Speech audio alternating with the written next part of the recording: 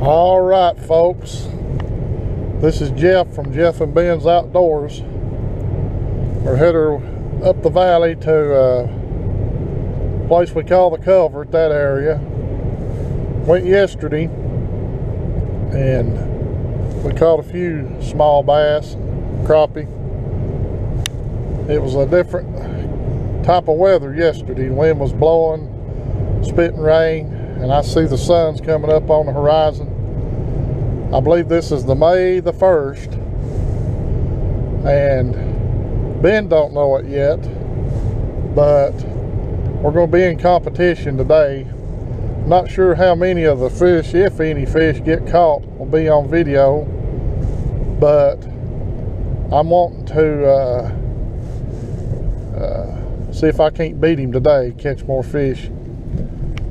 Sometimes when we go, he'll uh, catch more than me or I'll catch more than him. Sometimes one will get skunked and the other won't, and vice versa. But this time we're looking at such a beautiful sunrise. I if the camera's picking that up or not, but sun's up, coming up.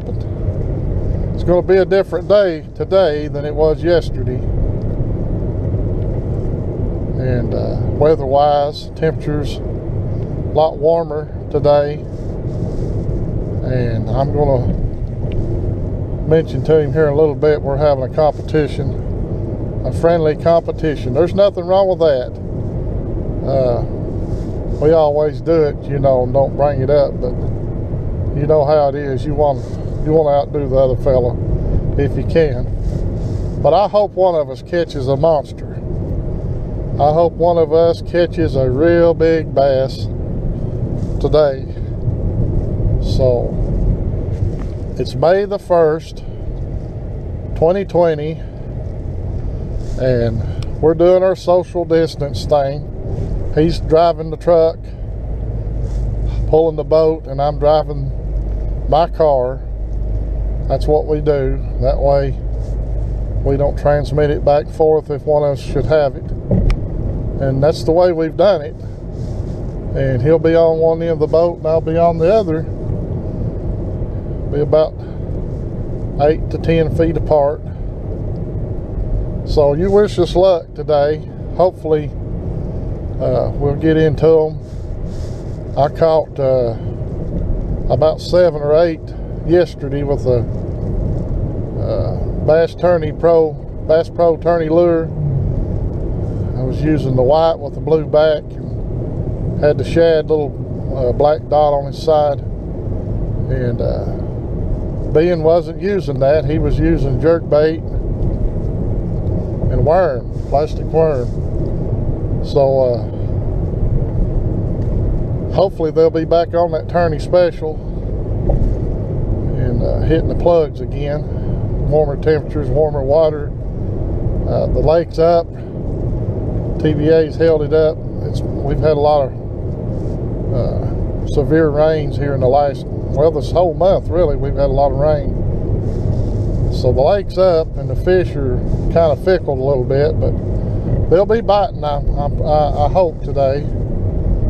So you wish us luck, and let's see if the old man can't beat uh, Ben in the tournament today. All right, folks, I got a monster, probably a carp. Feels like a catfish. Yep, it's a bass. Striper. Check it out. Get the net. Get the net. no, it's a walleye. Hurry.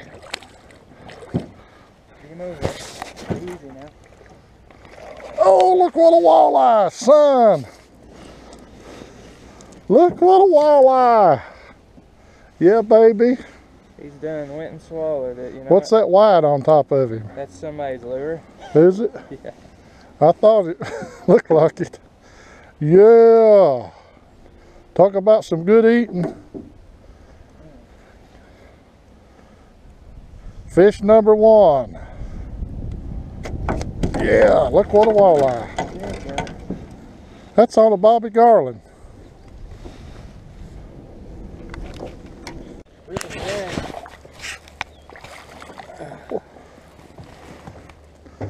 The chatterbait? Yeah. Awesome. One to one. Good one. On the chatterbait.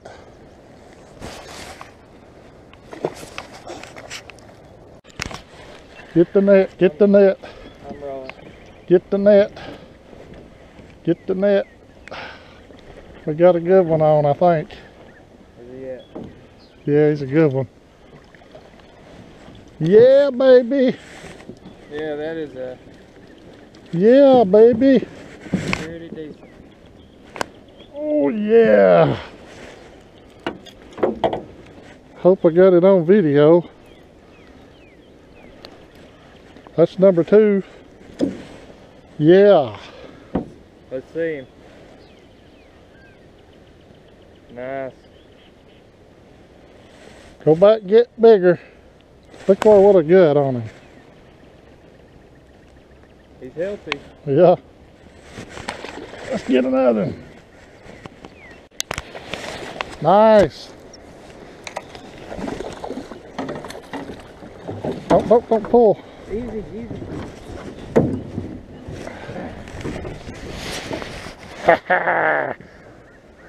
Even Steven. That might be the same bass. No, I doubt it. Lord's looked down on us to, today and said, I'm going to bless them. We need to get it on video if we can. He ate that. Oh man. What was you using? Chatterbait with a trailer on it. So hold him up there. Awesome.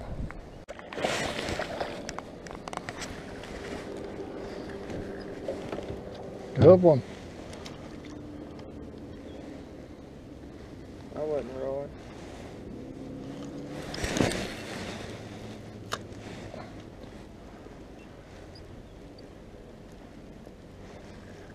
They're loving this chatterbait. Yeah. I'm gonna have to change over in this shallow water, I guess. Yeah, I got a chatterbait you can tie on.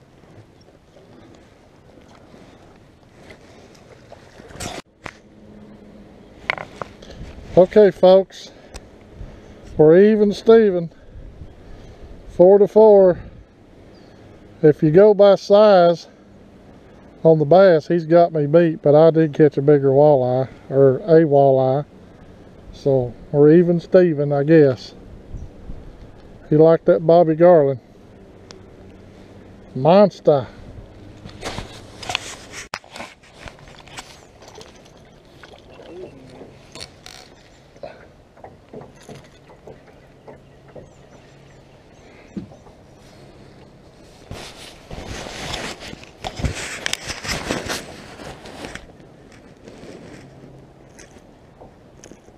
Easy boy, don't get no hook in me. I'm gonna let you go.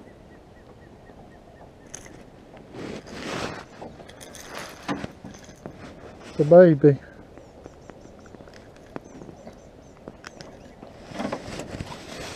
It's a baby.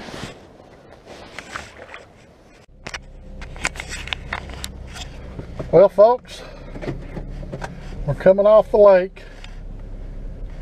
We ended up going to the hatchery, what we call the hatchery. Hatchery's on the on one side of the lake, and then there's a dam. But we put in there.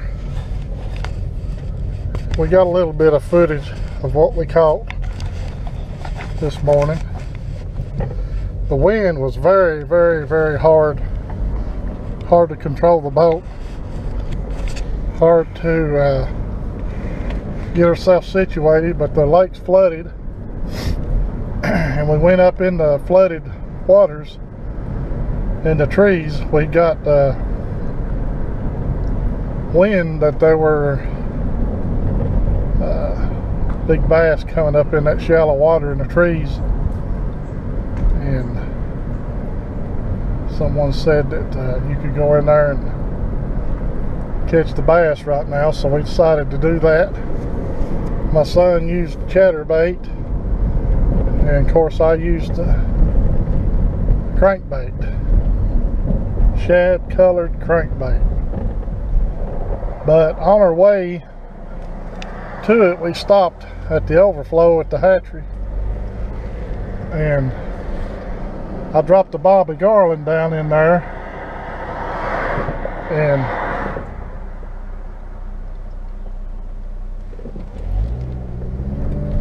that uh, walleye hit it. And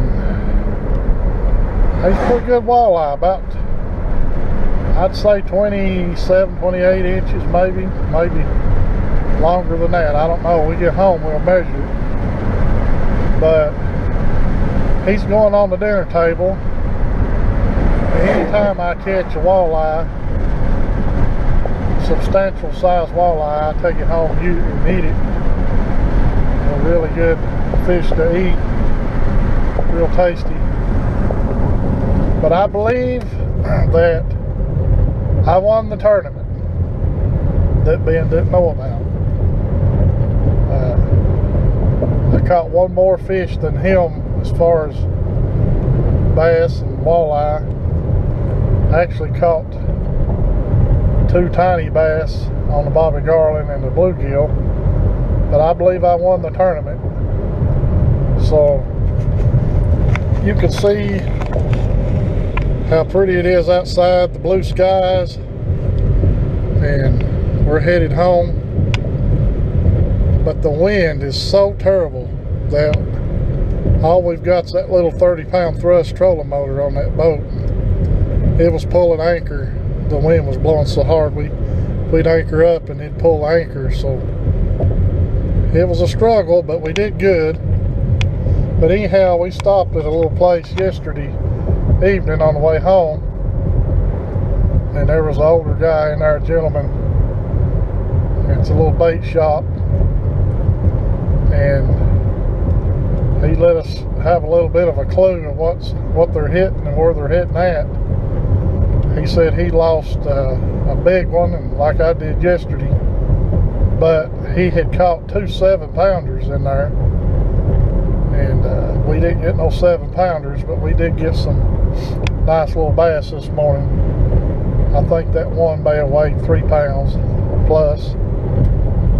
But anyhow, old old Pappy won the tournament, I do believe. So we're thankful that uh, we were able to fish as hard as the wind was blowing. And we finally did get off to a place where uh, there's a little cove kind of like. Usually when the lake drops, there's a pond left over below the hatchery, and that's that's where we fished at this morning, most biggest part of the day.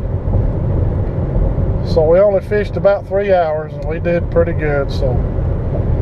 I won the tournament.